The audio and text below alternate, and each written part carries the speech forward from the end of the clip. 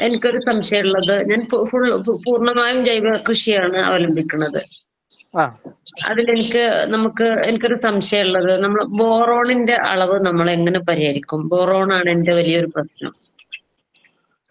അത് ബോറോണിന്റെ അളവ് പരിഹരിക്കാനായിട്ട് ജൈവവളങ്ങളാണ് ഏറ്റവും ഉചിതമായിട്ടുള്ള മാർഗം. ജൈവവളങ്ങളിൽ കുറഞ്ഞ അളവിലാണെങ്കിലും ബോറോൺ ഉണ്ടായിരിക്കും. ഓക്കെ. പിന്നെ കൊറോണന്റെ കുറവ് കാരണം സാറ് വെച്ചാൽ ഇപ്പൊ നമ്മൾ ചക്ക മാങ്ങ ഇതിന്റെ ഒക്കെ ഷേപ്പ് വ്യത്യാസം. ചക്കയുടെ ഉള്ളിൽ ഉള്ളിൽ വലിയ സൈസിലാണ് ഉണ്ടാകണമെങ്കിൽ ഞാൻ കൂടുതലായിട്ട് ലാർജ് സ്കെയിലിൽ കൃഷി ചെയ്യുന്ന ഒരാളാണ്. അപ്പൊ അതിന്റെ അകത്ത് മറ്റേ അതിന്റെ അകത്ത് കാമ്പ് ചുളകൾ പിന്നെ ഇല്ലാണ്ട് വരുന്നതാണത്. അത് ബോറോണിന്റെ കുറവായിരിക്കില്ലേ? ബോറോണിന്റെ കുറവ് മാത്രമേ വിണ്ട് കീറി പോവുക ആ. കായുടെ പുറത്ത് വിണ്ട് കീറി വരിക നാമ്പ് വിടാതെ വരിക അതൊക്കെ ബോറോണിന്റെയും കാൽസ്യത്തിന്റെയും ഒക്കെ അഭാവം വരും. ചിലപ്പോൾ ഇത് രണ്ടും കൂടെ ചേർന്നും വരും അവിടെ.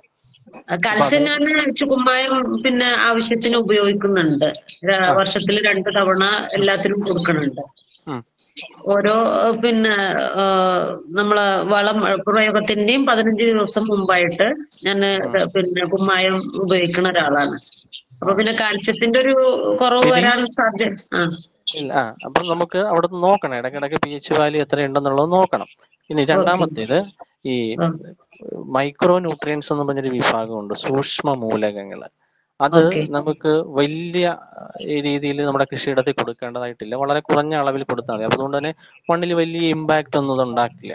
ജൈവവളങ്ങളോടൊപ്പം ചേർത്ത് ഈ സൂക്ഷ്മ മൂലങ്ങൾ വളരെ കുറഞ്ഞ അളവിൽ നമുക്ക് കൃഷിയിടങ്ങളിൽ കൊടുത്തുകൊണ്ട് ഈ സൂക്ഷ്മ മൂലങ്ങളുടെ അപര്യാപ്തത നമുക്ക് പരിഹരിക്കാനായിട്ട് പറ്റും.